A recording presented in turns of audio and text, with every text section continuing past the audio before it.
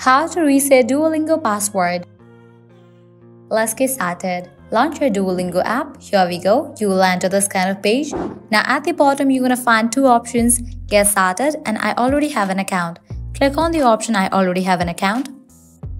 Now click on the option of forget password. Type in the email address that is linked with your account and then click on send mail.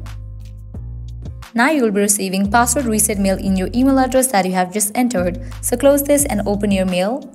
So here you can see that Duolingo has sent me the mail. You'll also receive similar kind of mail. Open this mail. Click on the option of reset password. Now generate new password for your account. Confirm your password.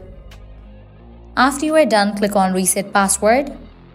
And just with that, you have recovered your account. Click on let's go and now you can continue using the app. Well, this way you can easily reset Duolingo password.